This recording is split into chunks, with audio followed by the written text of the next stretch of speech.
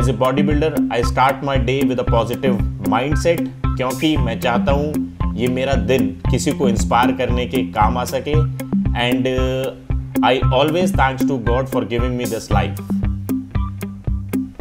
I start my day with this pre cardio drink why I am taking this pre cardio drink is just because why I am performing any which one of the cardio exercise and as I am a competitive body builder तो मेरे लिए बहुत ज़रूरी है कि while I am doing this cardio exercise तो मैं अपने मसल लॉस ना कर लूँ सो मैं कोई भी प्री कार्डियो ड्रिंक ले लेता हूँ and this part pre cardio drink have lot of things in it like L carnitine L tyrosine L glutamine citrulline malate and this have branch in amino acid leucine isoleucine and valine it helps me to build muscle and even save muscle while I am performing the cardio exercise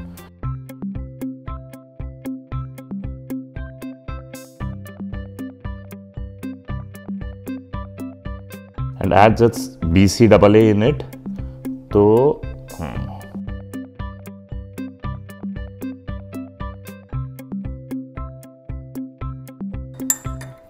has a very good flavor as a pineapple flavor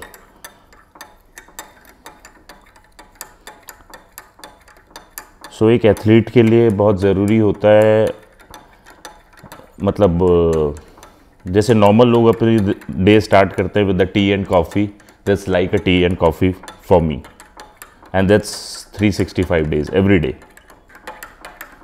and B C double A की the best thing is कि आप, वैसे तो बहुत सारे अमीनोज होते हैं जो आपको हेल्प करते हैं मसल बिल्डिंग में या आपकी लाइफस्टाइल को इम्प्रूव करने में. But branch in amino acid leucine isoleucine और valine is the three thing three aminos that is called essential amino acid जो कि आपको जनरली फ़ूड से नहीं मिलते तो आपको किसी भी सप्लीमेंट से इसको आउटसोर्स करना पड़ता है।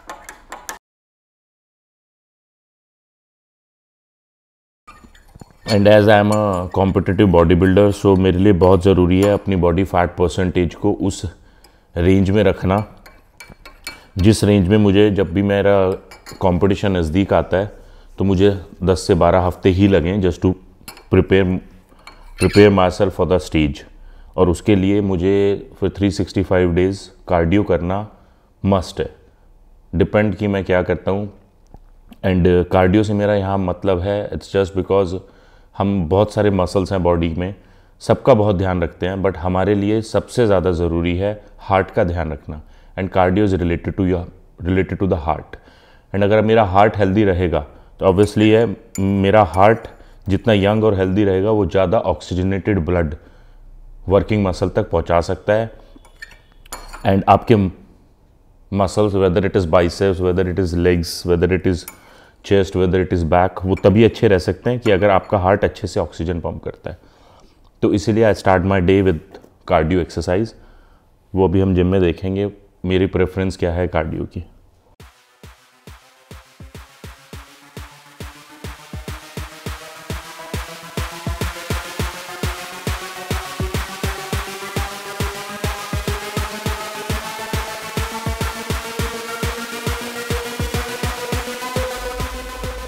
The gym and uh, as i told you i start my day with the cardio exercise. And uh, cardio we have different variety here. So this is key i generally do cross trainer or just brisk walk. And uh, let's see.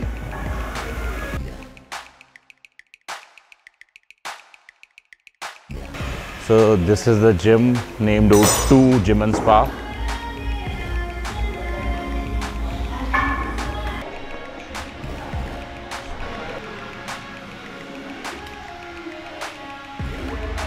and while I'm doing the cardio, as I like Punjabi music so मैं generally ये mobile use करता हूँ while am performing the cardio and actually फिर दिन में मुझे time नहीं मिलता अपने तरह के गाने सुनने का। सो आई ट्राई टू जो ये हाफ़ एन आवर मेरे पास है आई यूटिलाइज कि मैं उसको मैक्स कैसे पोटेंशियल निकाल सकता हूँ। गाने सुनने से मैं खुश रहता हूँ कार्डियो करने से मेरी हेल्थ इंप्रूव होती है। तो मुझे लगता है मन, दिमाग दोनों तंदुरुस्त हो जाते हैं। तो वो गाने में मिस नहीं करता। So while I am doing the cardio exercise I never talk to anyone rather than कि जो गाने मुझे पिया, जिससे मेरा माइंड फ्रेश हो सकता है as I start my day and मुझे दिन में बहुत सारे अच्छे अच्छे काम करने हैं तो उसके लिए मेरा स्टार्ट होना चाहिए, जो चीज़ मुझे सबसे ज़्यादा पसंद है, और मुझे बिफोर द एक्सरसाइज बहुत पहले से जब मैं हम, जब से हम हॉस्टल में थे तो गाने सुनने का बहुत शौक़ था। तो वो शौक़ मैंने अभी तक ज़िंदा रखा है, क्योंकि बहुत ज़रूरी है कि जो आपका पैशन है या जो आपका लव है या जो चीज़ भी आपको खुश रखती है, वो आप ज़रूर करें। तो मैं यंग जनरेशन से भी यही बोलना चाहूँगा कि लाइफ में बहुत सारे मूड ऐसे आते हैं, जब आपको कुछ चीज़ें छोड़नी पड़ती हैं, कुछ अडॉप्ट करनी पड़ती हैं। बट कुछ भी अडॉप्ट करो, अच्छी चीज़ें, जो भी आप करना चाहते हो, आपकी जॉब हो सकती है, आपकी फैमिली रिस्पॉन्सिबिलिटीज़ बट कहीं ना कहीं आप अपने आप से ज़रूर प्यार करो। क्योंकि अगर आप अपने आप से प्यार नहीं कर सकते ना तो आप किसी से प्यार नहीं कर सकते।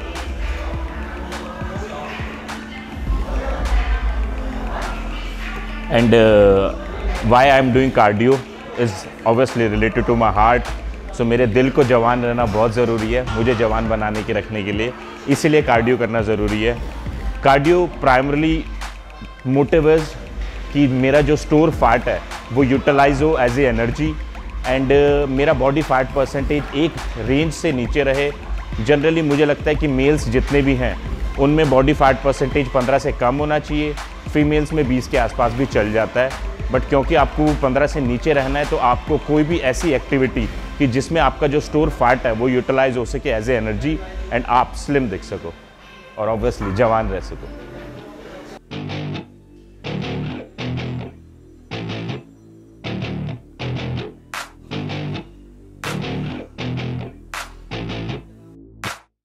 Growing up in Cali, yeah, you know I love the weather. Limelight, hit 'em and you know I handle pressure. I do what I want, so I'm never saying never. I get what I want, so they call me go-getter. Yeah, I know he does it good, but you know I do it better. So misunderstood, if she wanted then I let her. Everybody knows if I want her then I get her. She gave me that look, yeah, she knows she thinks I'm clever. I don't think I do it good, no, I think I do it great. They would do it if they could, they can't do it so they hate Everybody wanna look, but nobody wanna play Stealing eyes like a crook while I put it on display I don't do it by the book, no, I do my own thing That's why every single hook got them singing like me And I ain't in any rush, cause I'm finally getting So, मैं almost 25 minutes cross trainer कर चुका हूँ But uh, as I generally do 35 minutes of cardio and uh, क्योंकि outdoor cardio करना भी बहुत important है just कि आपको वो फ्रेश एयर चाहिए। सर आई वांट कि मैं थोड़ी जॉगिंग कर लूँ। So I prefer jog on normal ground rather than the treadmill because treadmill में uh, बहुत सारे लोग जिनके पास फैसिलिटीज़ नहीं है आउटडोर की so obviously they can run on they can sprint they can do a jog on treadmill also but I generally prefer कि if I have an opportunity, I have a park, so I can run a bit, let's say 5-10 minutes and uh, just to maximize जो cardio effect है उसको पूरा maximise करने के लिए. सो so, वो मैं रोज़ नहीं करता हूँ but yes thrice a week I do this job thrice a week I do normal walk on the treadmill cross trainer बस मैं 25-30 मिनट ज़रूर करता हूँ. वो मेरा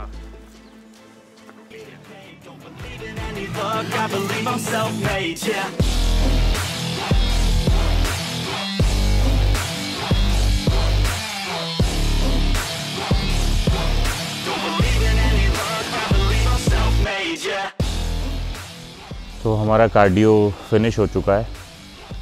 एंड जैसे कि मैंने बताया था क्रॉस ट्रेनिंग के साथ साथ मैं स्प्रिंटिंग सिर्फ़ इसलिए करना चाहता था कि मैं आज के दिन की मैक्सिमम ऑप्टिमाइजेशन और मैक्सिमम यूटिलाइजेशन करना चाहता था।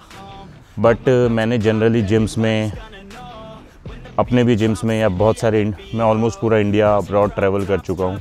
बहुत सारे जिम्स में हमने देखा है जितने भी लोग वेट रिडक्शन करने की कोशिश कर रहे हैं, वो बहुत ज़्यादा कार्डियो करते हैं। But there is a limitation of everything बहुत ज़्यादा, कुछ भी ज़्यादा करना इज़ नॉट कि आपको उससे रिज़ल्ट आएँगे। But you need to be little technical कि आपको कैसे करना चाहिए। तो कैसे what is cardio cardio is related to your heart क्योंकि वही कार्डियो एक 60 साल का बुज़ुर्ग भी कर रहा है 40 साल का भी कर रहा है और 20 साल का भी कर रहा है। तो तीनों में क्या चीज़ डिफरेंट होनी चाहिए कि वो फैट बर्न कर पाए या अपने हार्ट को हेल्दी कर पाए।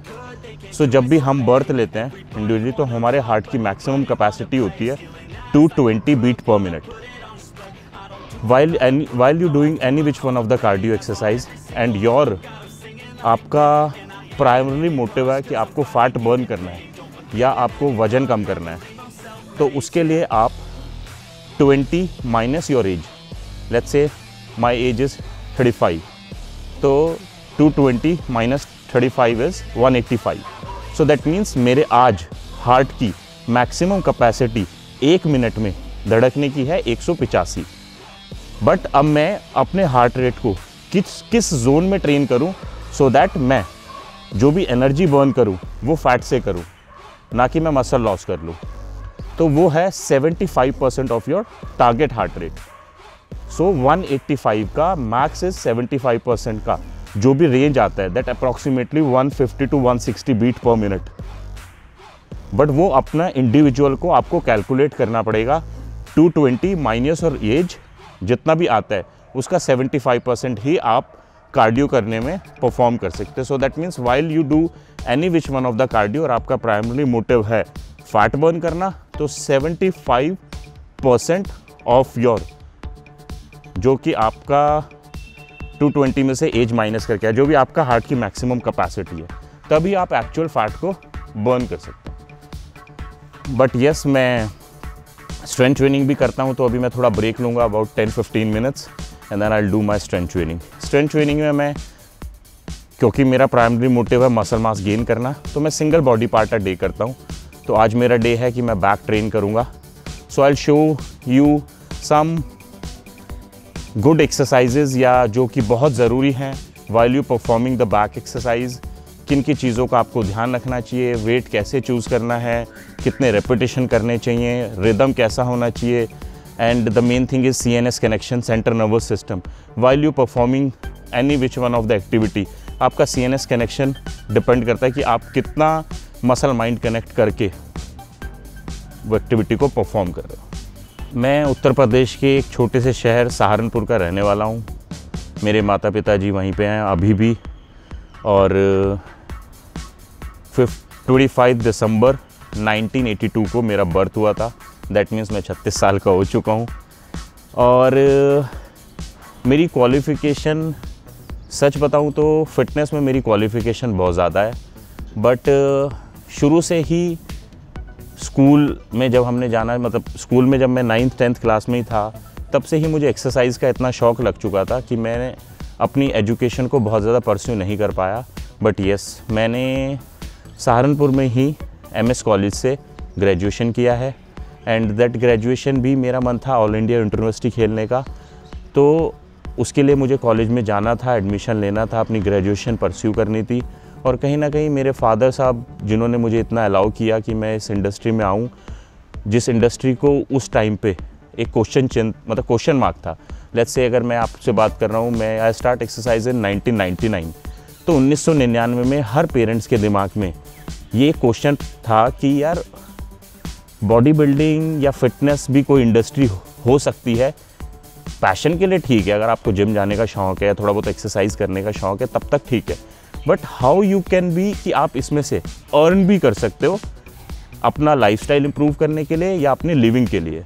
वो हर पेरेंट्स के दिमाग में क्वेश्चन मार्क था तो ऑब्वियसली बट उन्होंने मुझे अलाउ किया था कि मैं अपनी एजुकेशन के साथ साथ अगर इसको करना चाहता हूँ तो वो मुझे कभी नहीं रोकेंगे। तो उनका काफ़ी सपोर्ट रहा है।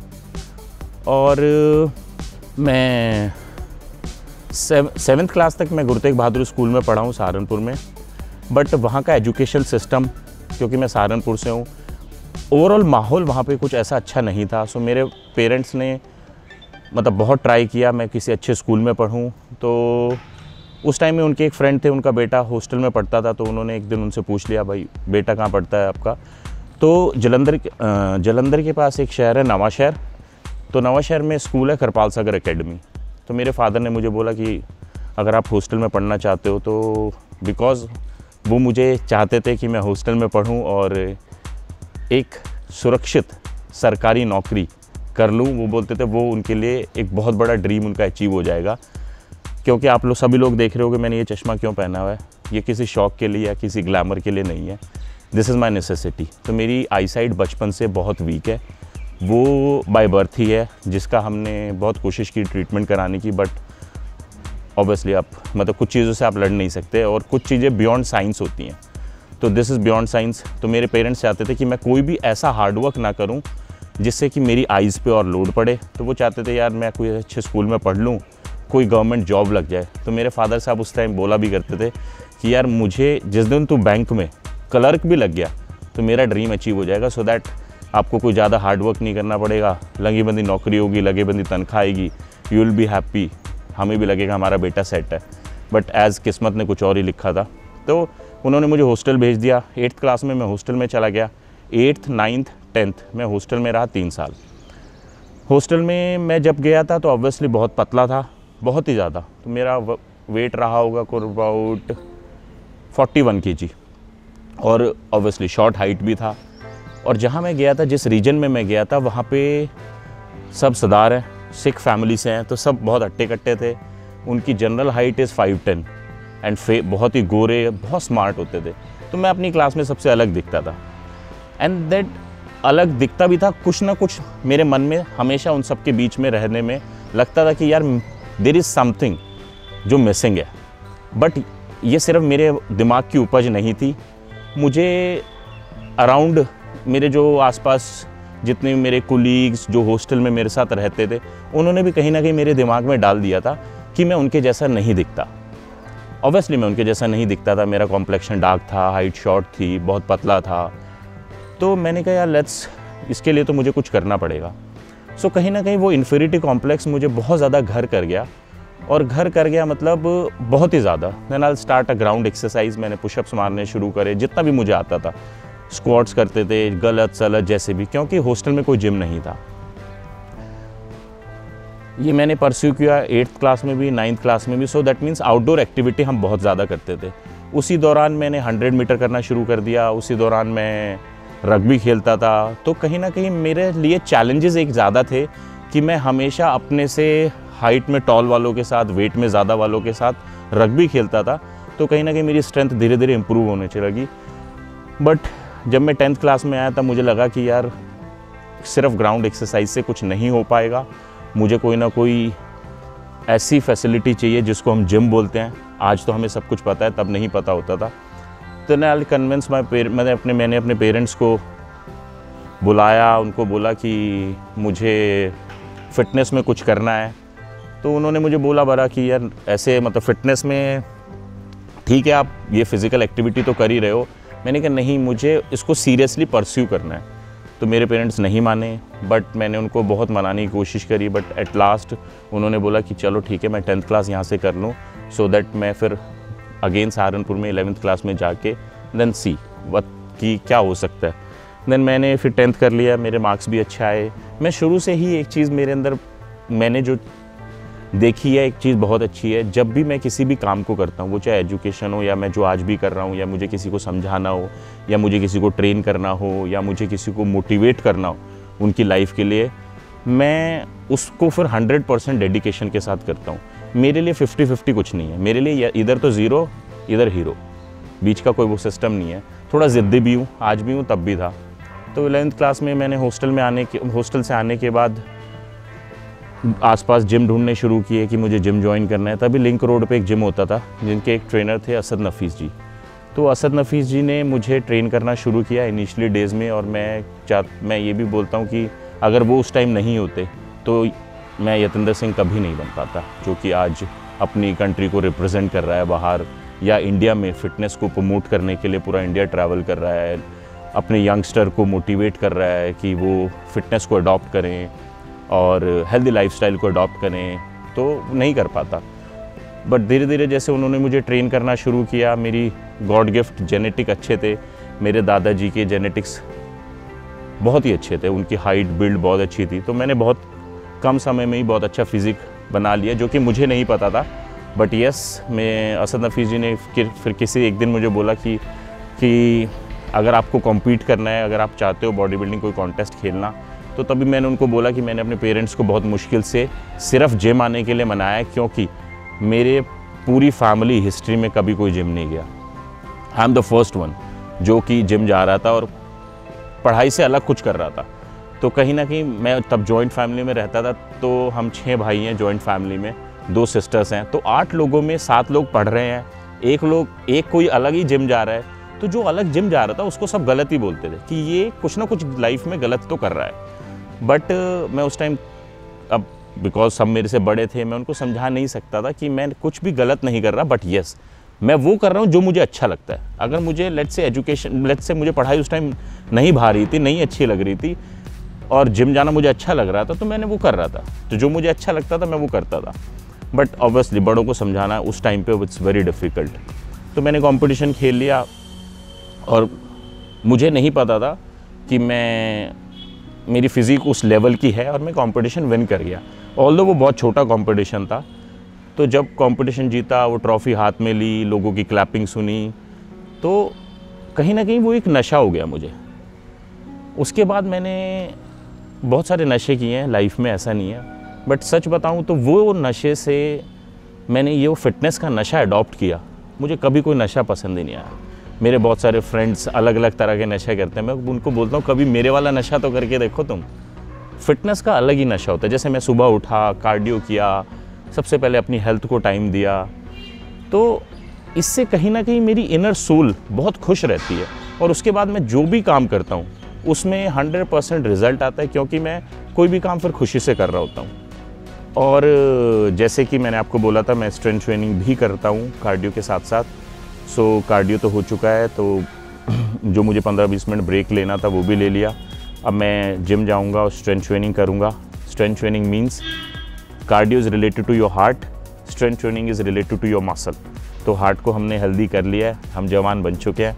तो अब लेट्स कि हम मसल को थोड़ा स्ट्रॉन्ग करेंगे। There are so many of muscle in your body मैं आज बैक ट्रेन करने वाला हूँ। होप सो मैं जो भी आप ये वीडियो देखोगे उसके माध्यम से मैं आपको छोटी छोटी करेक्शंस बता सकूँ, क्योंकि कहीं ना कहीं मेरा मोटिव इज़ ट्रेनिंग करना खुद के लिए तो है ही। बट मैं लोगों को भी सिखाना चाहता हूँ कि जो भी लोग जिम में जाते हैं लेट्स से फॉर फिटनेस उनके लिए क्या क्या अहम चीज़ें हैं जो उनको याद रखनी चाहिए, या मे बी प्रॉबली उनका ट्रेनर उनको नहीं बता पा रहा, या वो उतना एजुकेटेड नहीं है, या वो उतना ज्ञान नहीं रख सकता। तो आपको खुद से भी थोड़ी थोड़ी नॉलेज होनी चाहिए। लेट्स सी कि मेरी जो बैक ट्रेनिंग है या मेरी जो भी स्ट्रेंथ ट्रेनिंग है, वो आपकी कितना काम आ सकती है।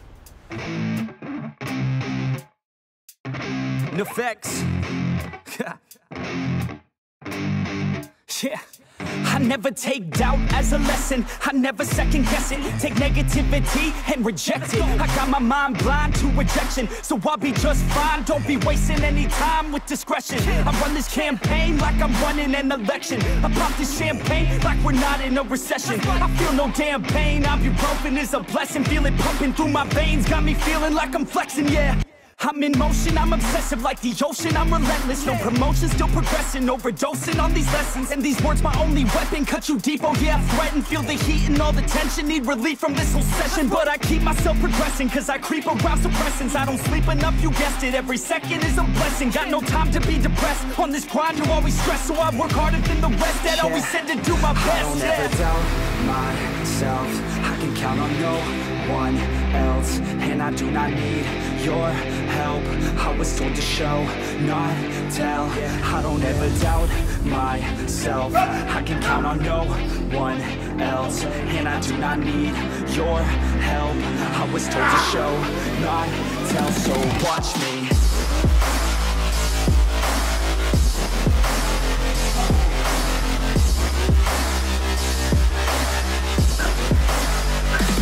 watch me.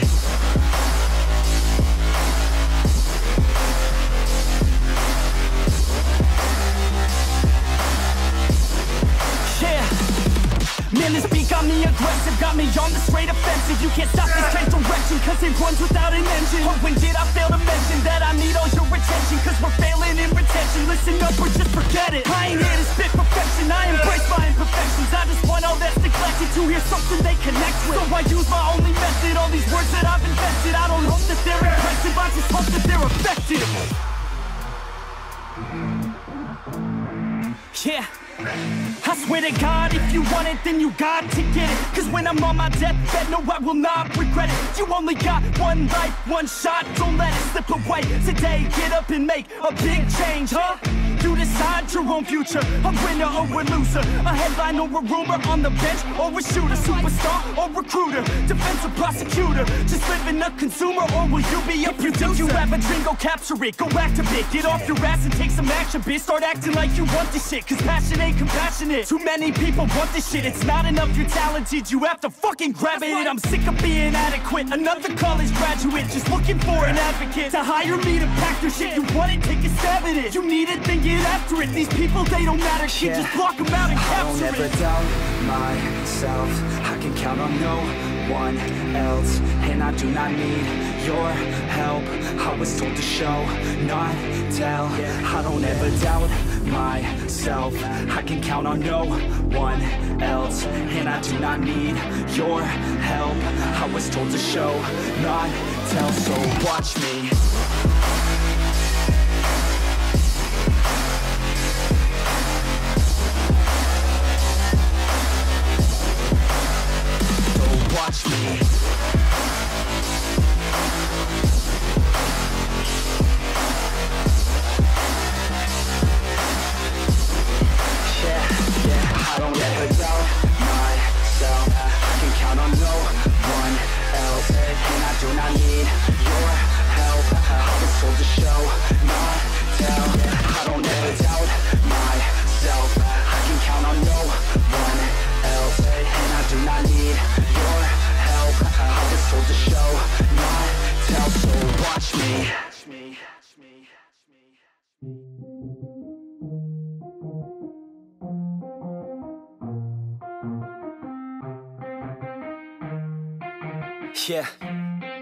go. I'ma make a couple stacks, do exactly what I want to. Mix a couple tracks, get a lady that I'm drawn to. Turn up to the max, get me faded till I'm gone, dude. I do what I want, couldn't stop me if you wanted to. I just work hard, yeah, harder than the rest. Some people say I'm lucky, others saying that I'm blessed. But I keep my head down, cause I crave progress. You ain't never gonna stop me, cause it's my conquest. And I'm never gonna rest, yeah. And y'all don't know that I'm a soldier. I always felt like I'm alone, yeah. When everybody thinks they know, yeah And y'all don't even know I own, yeah And now I'm ready taking over. Cause every day I'm getting closer. Just look at everything I'll show ya. And now I'm ready, I'ma blow up. Yeah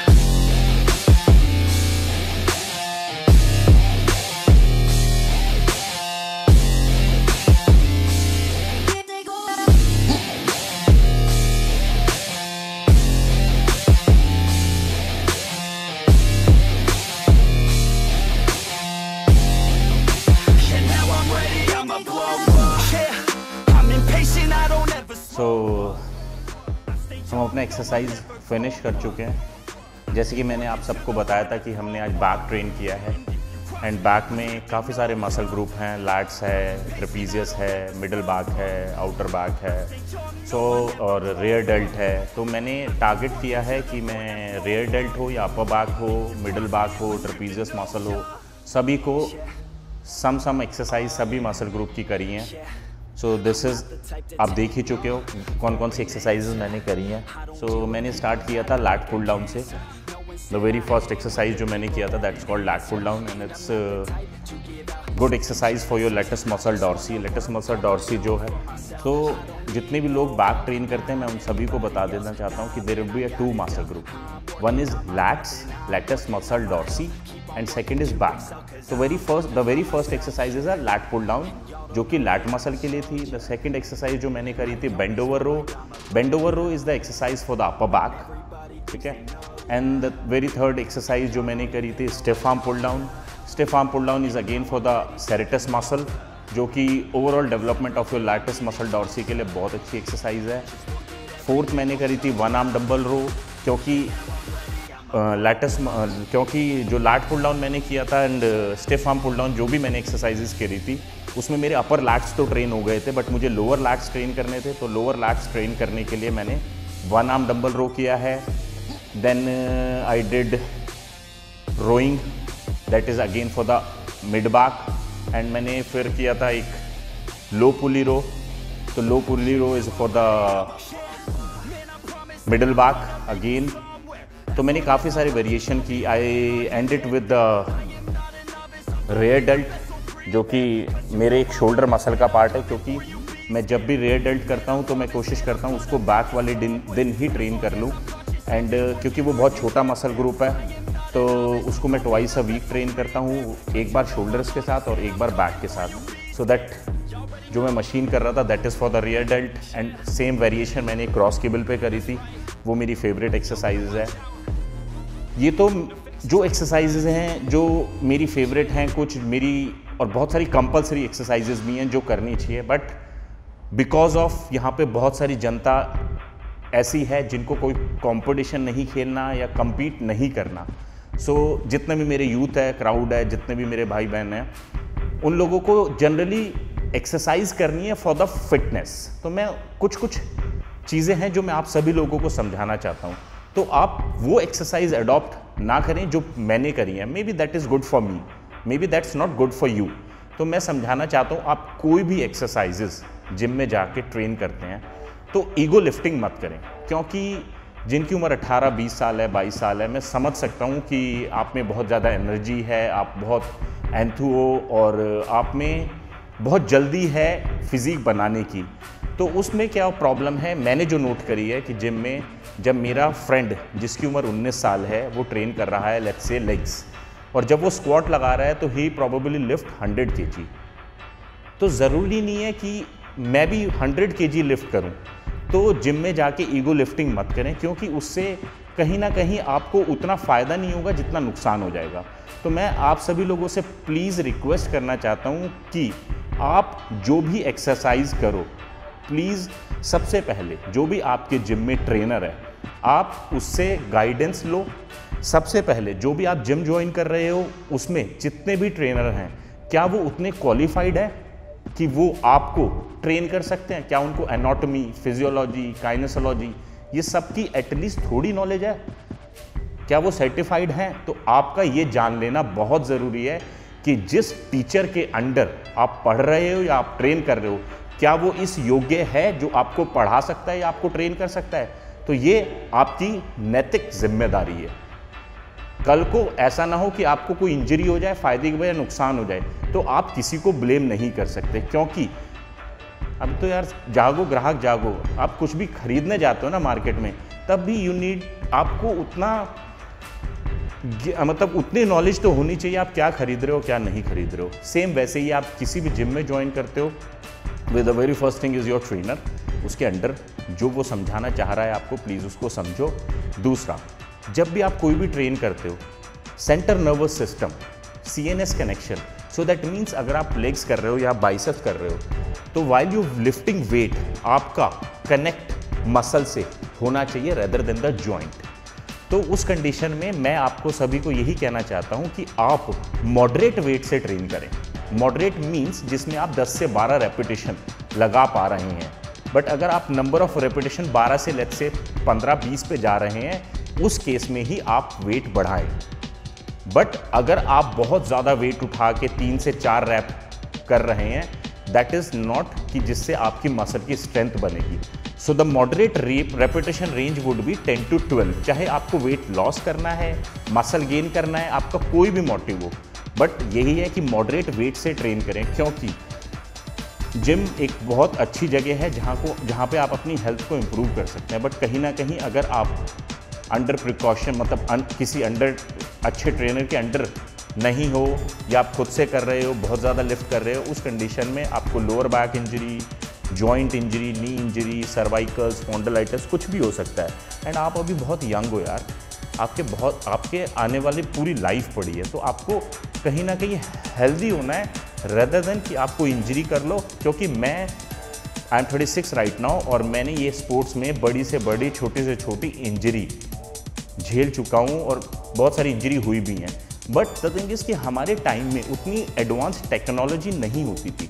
आपके time में आपको अच्छा equipment है, अच्छे trainer हैं and then आप खुद इतने इंटेलिजेंट हो क्योंकि अब फिटनेस जो है उस लेवल पे जा चुका है कि बेसिक एजुकेशन बेसिक एजुकेशन सभी को है। तो आप उस एजुकेशन को यूज़ करो इम्प्लीमेंट करो रेदर देन कुछ भी चीज़ गलत करके और कहीं ना कहीं इंजरी कर लो।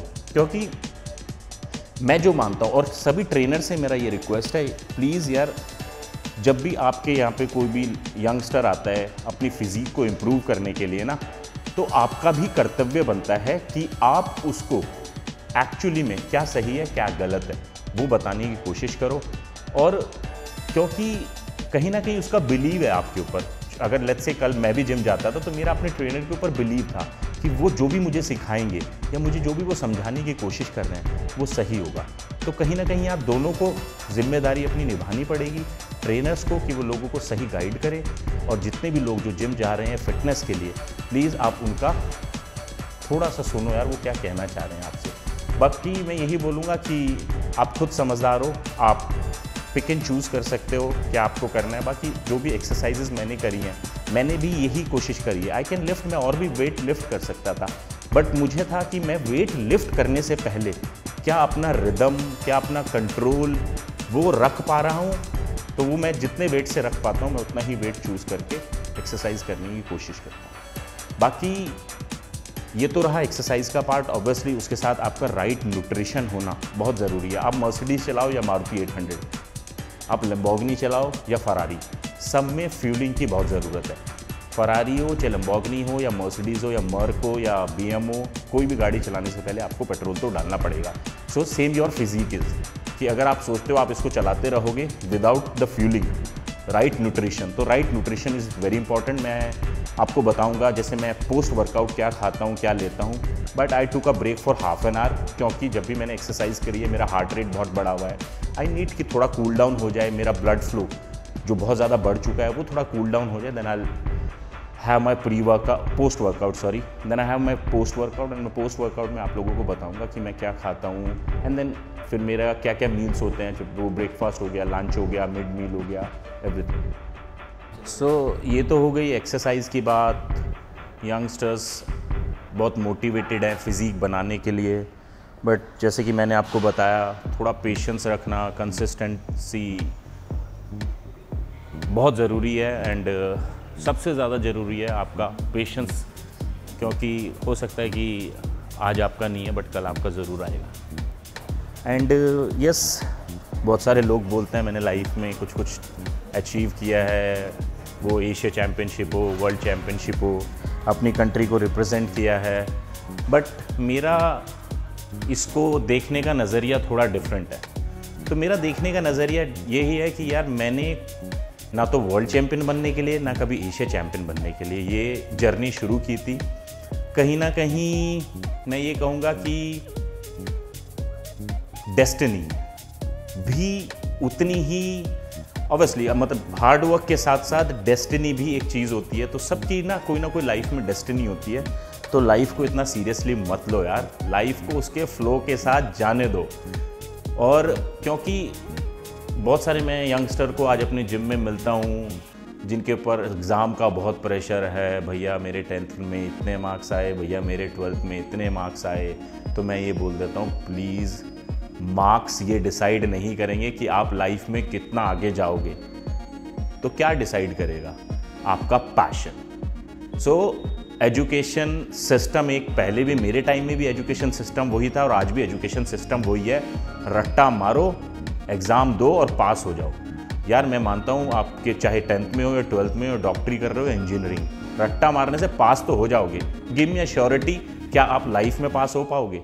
तो कोई भी लाइफ, किसी की भी आपकी हो, मेरी हो, रट्टा मारने से पास नहीं होगी। तो कुछ भी करो यार आप। मैं ये नहीं कह रहा क्या सही है, क्या गलत है। क्योंकि लाइफ में कुछ सही गलत नहीं होता। सबका सही, सबका right and wrong is a different but कुछ भी हो यार, आप पैशनेट होके करो। सो so, मैंने तो ये शुरू करी थी जैसे कि मैंने आप सभी लोगों को बताया कि जिस हॉस्टल में मैं पढ़ता था थोड़ा कहीं ना कहीं एक इन्फिनिटी कॉम्प्लेक्स अपने अंदर भर चुका था कुछ सोसाइटी का दिया हुआ खुद का इनबिल्ड भी होता है कई बार।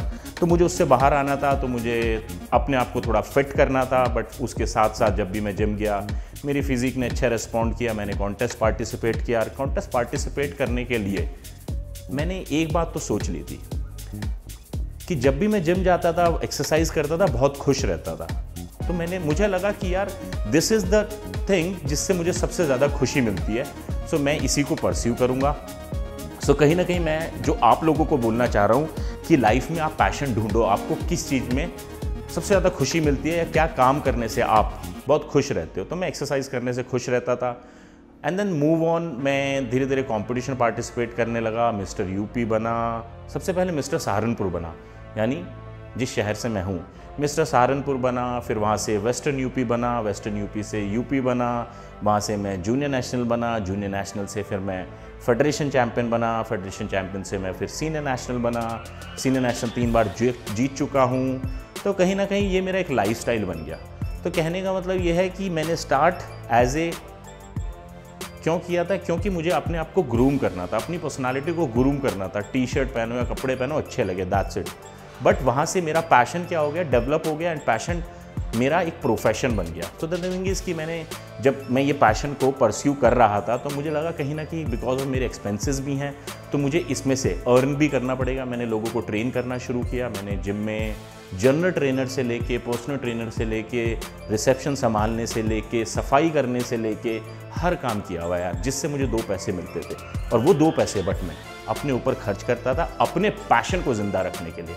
वो पैसे मैं इसलिए नहीं कमाता था कि मुझे सेविंग्स करनी है नो वो मैं पैसे इसलिए कमाता था कि मुझे अपने पैशन को ज़िंदा रखना था।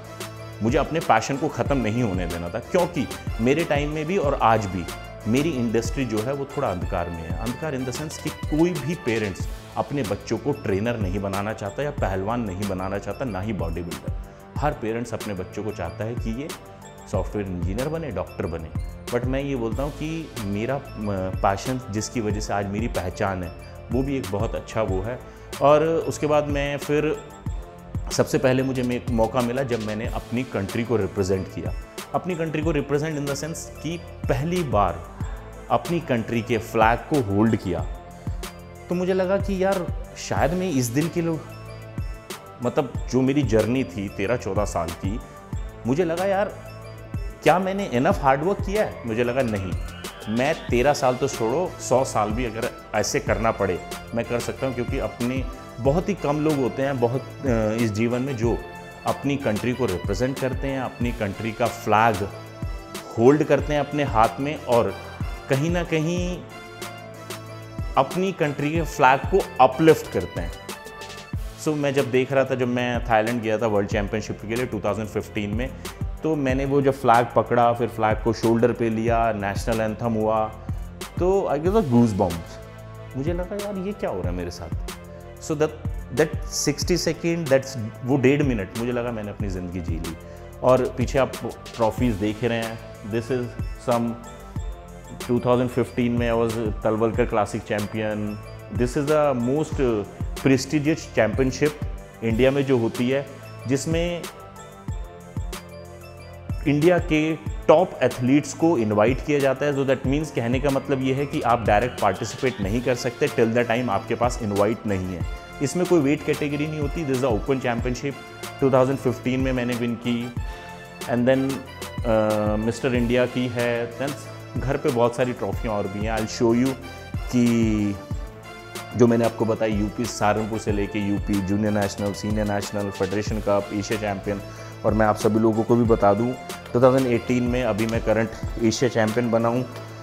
अगेन वही वो फ्लैग लिफ्ट करना अपनी कंट्री को रिप्रेजेंट करना तो बहुत अच्छा लगता है यार। सो so, कोई भी पैशन कोई भी चीज़ स्टार्ट हुई थी यंगस्टर मतलब अपने आप को ग्रूम करने से बट ग्रूम करने के साथ साथ पैशन बनी पैशन से वो प्रोफेशन बनी। बट आज मुझे सब लोग पूछते हैं, भैया, आपको 19-20 साल हो गए यार। आप भी, आज भी आपका पैशन इतना ज़िंदा क्यों है? गिव मी अ रीज़न तो मेरे पास एक ही रीज़न है यार।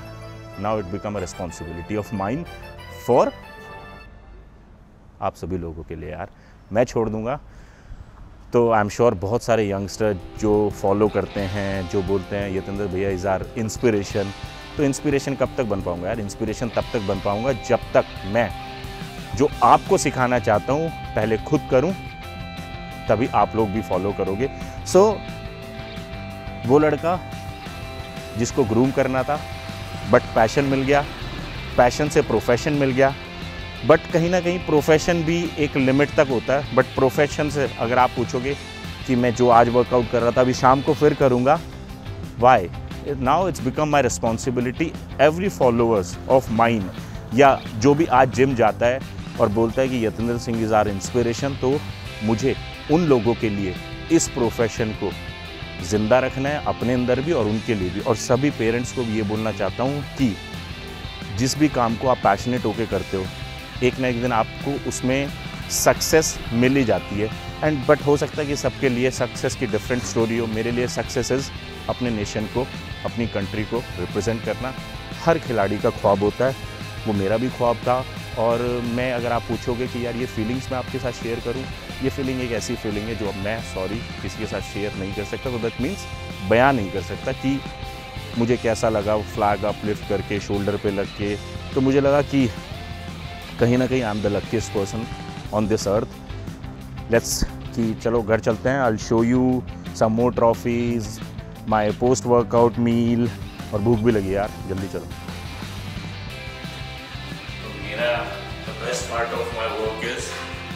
मेरा ऑफ़िस, मेरा घर, मेरा जिम बहुत पास है तो मैं सब ऑलमोस्ट वॉक करके हो जाता है। और एज दिल्ली एनसीआर में ट्रैफ़िक इतना ज़्यादा है तो मैं गॉड वो ट्रैफ़िक से तो बच जाता है।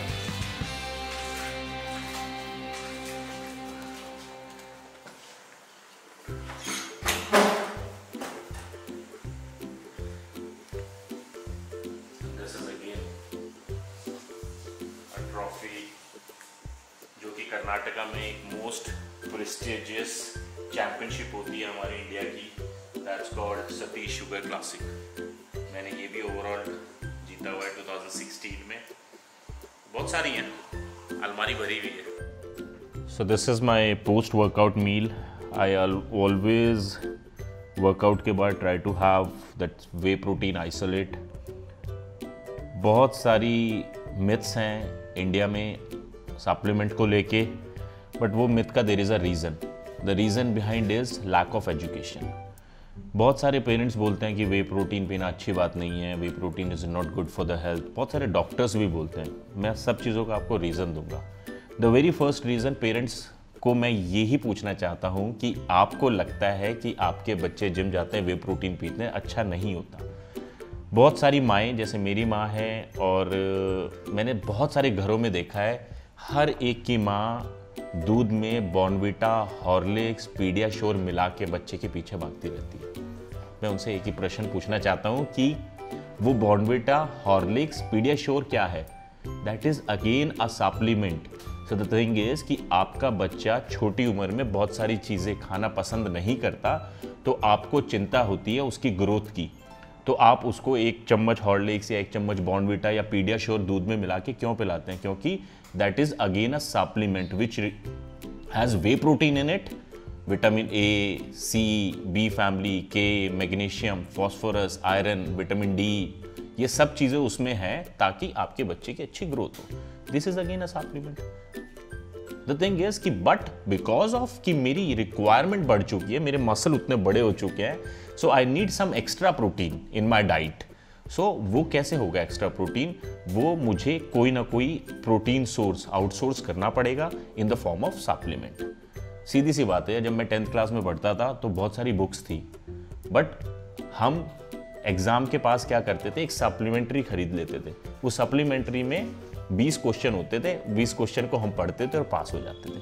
तो supplement is a easy way तो this supplement is a easy way to consume और क्योंकि मैंने अभी वर्कआउट किया और मेरे मसल टिश्यू ब्रेक डाउन हो चुके हैं। उनको रिपेयर करने के लिए I need to have a whey I need to have a supplement because कि मुझे उसको इजीली डाइजेस्ट करना है और अपने मसल को as soon as possible feed करना है। क्योंकि अगर मैं नहीं करा तो द थिंग इज़ कि मेरे मसल कैटाबॉलिक स्टेज में चले जाएँगे एंड कैटाबॉलिक स्टेज में मसल की ग्रोथ नहीं हो पाएगी। So in that ways whey protein और बहुत सारे डॉक्टर्स का ये मानना है कि whey protein is not good for health क्योंकि उसका रीज़न ये है कि बहुत सारे डॉक्टर्स की दुकान बंद हो जाएगी। सो so, यहाँ पे एक कह लो जंग है। एक तरफ़ है डॉक्टर्स जो लोगों को दवाइयाँ लिखते हैं ब्लड टेस्ट लिखते हैं जो कि ज़रूरी नहीं है। बट वो नौबत तब आती है जब आप अपना खान पीन अच्छा नहीं रखते अपनी सेहत पे ध्यान नहीं देते कोई फ़िज़िकल एक्टिविटी नहीं लेते, करते स्ट्रेस लेते हो तो due to stress due to lack of physical activity due to lack of nutrition आपकी नौबत ऐसी आ जाती है कि आपको डॉक्टर के पास जानी पड़ता है और डॉक्टर आपको बोलता है कि क्योंकि आप मेरे पास आए हो तो मेरी बात माननी पड़ेगी। वे प्रोटीन नहीं पीना या कोई भी सप्लीमेंट नहीं खाना, दवाइयाँ खाओ।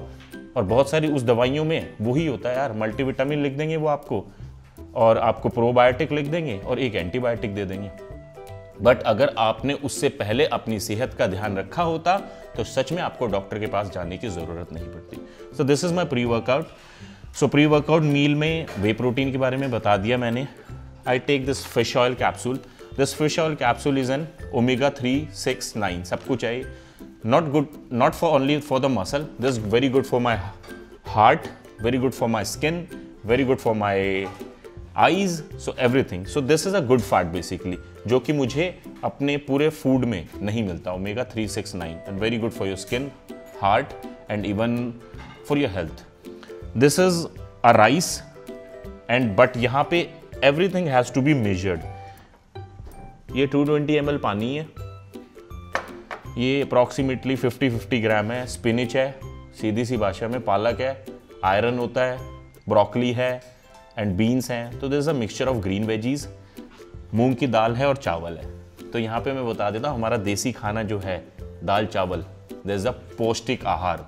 Dal is a protein rice is a carbohydrate so दाल चावल अपने आप में ही क्या है कि अपने आप में ही एक ऐसा मिश्रण है जो आपको कार्बोहाइड्रेट एंड प्रोटीन दोनों दे रहा है। तो मैं यहाँ पे दे रहा हूँ, और because while I am performing any physical activity and fuel is fuel is basically क्या है कि मुझे फ्यूलिंग करनी है, क्योंकि carbohydrate is a source of energy अब मुझे शाम के शाम के सेशन के लिए भी एनर्जी चाहिए और जो एनर्जी मैं ऑलरेडी बर्न कर चुका हूँ, उसकी so protein is for my muscle rice क्योंकि कार्बोहाइड्रेट है is a fuel of my body दाल मैंने इसलिए रखी है क्योंकि इन चावल को मैं ऐसे वैसे नहीं खा पाऊँगा। And green veggies is a good for iron and बाकी अदर सोर्सेज के लिए। So let's do so but yes क्योंकि हर चीज़ एक क्वांटिटी में लेना is very necessary so I took one scoop of whey protein one scoop of whey protein and that is that gives me 24 gram of protein और मेरी body एक time में 24 ग्राम से ज़्यादा प्रोटीन डाइजेस्ट नहीं कर सकती तो मैं अननेसेसरी दो स्कूप नहीं पीऊँगा. One scoop is more than sufficient और बहुत सारे लोगों को ये क्वेश्चन होगा कि भैया ये आप शेकर यूज़ नहीं कर रहे हैं सिपर यूज़ क्यों नहीं करते? मेरा अपना प्रेफरेंस है कि जो भी प्लास्टिक्स के शेकर्स होते हैं सिपर्स होते हैं, वो अच्छे से वॉश नहीं होते। तो मैं जितना कम से कम हो सकता है मैं यूज़ करता हूँ। Otherwise I use always use spoon and glass क्योंकि ये ग्लास अच्छे से वॉश हो जाता है।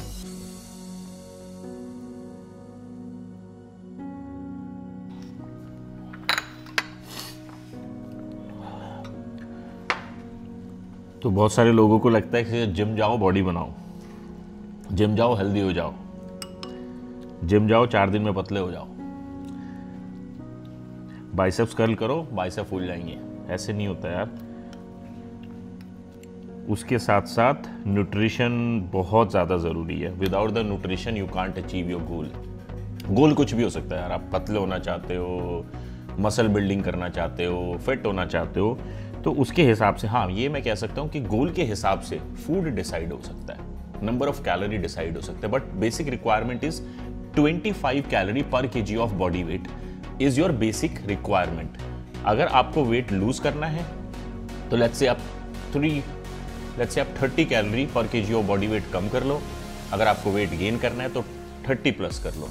सो दैट मीन्स अगर 100 किलो का आदमी है 25 कैलोरी पर के जी बॉडी वेट चाहिए तो 2500 कैलोरी उसकी दिन की रिक्वायरमेंट है। ब्रेन चलाने के लिए हार्ट चलाने के लिए मसल चलाने के लिए जॉइंट चलाने के लिए, सब चलाने के लिए इवन सोने के लिए भी आपको, क्योंकि आपका हार्ट और आपका दिमाग चौबीसों घंटे काम करता है। आप सोते हुए भी हार्ट तो बंद नहीं होता ना तो उसको कैलोरी की रिक्वायरमेंट होती है। That means 25 calorie per K ji of body weight हाँ अगर आपको वज़न घटाना है तो आप लेट से 300 कैलोरी कम कर दो। वज़न बढ़ाना है तो 300 कैलोरी बढ़ा दो। इतना ही कर सकते हो। बट डिसिप्लिन रहना बहुत ज़रूरी है। ऐसा नहीं है कि आपने सात में से पाँच दिन अच्छी एक्सरसाइज करी, दो दिन खाया। मैं बोलता हूँ, ये तीन सौ पैंसठ दिन का काम है यार। और अपनी फिजिक को मेंटेन रखना is the difficult part so gym में आपने देखा, जो भी मैंने वर्कआउट किया, वो मेरा एक टाइम का वर्कआउट है बट उसके साथ साथ बहुत सारी चीज़ें हैं जो डिसिप्लिन रह के हमें करनी पड़ती हैं। क्योंकि अब आप ज़िम्मेदारी है ही कि इंडिया में फ़िटनेस को प्रमोट करना है तो उस ज़िम्मेदारी को मैं सिर्फ़ एक्सरसाइज करके नहीं निभा सकता। तो आई नीड टू बी कि मेरा लाइफस्टाइल वैसा होना चाहिए कि जो मैं सिखाना चाहता हूँ, पहले वो मैं करूँ, तभी मैं सिखाने के, मैं तब, तभी मैं सिखाने में उतना कॉन्फिडेंटली आपको सिखा पाऊँगा।